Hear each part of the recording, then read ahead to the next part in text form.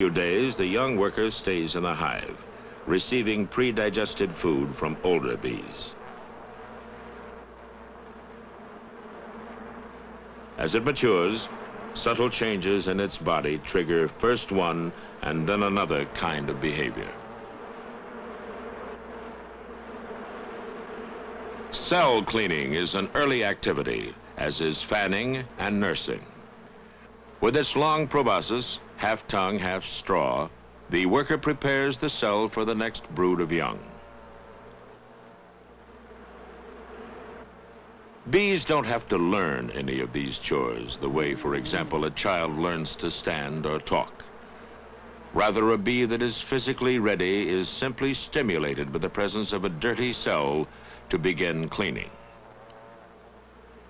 In fact, much of the frantic activity of the hive, symbolized in the expression busy as a bee, is due to the movement of bees in search of something they are old enough to do.